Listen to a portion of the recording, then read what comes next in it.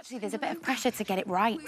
Well, you have to. That's Yeah. the thing, you know. You're, you're representing a, a, a group of people who, Of who will be watching this and want to be represented in the right way. Exactly. So there's that, there is that responsibility. Yeah, it's the pair of us together, and um, I just adore her to work with. She's just amazing.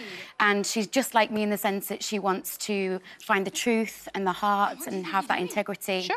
through the work that we get given. So every time we do it, it's like, if we don't feel this, it is not going to work. It's not going to work. You've got to do it.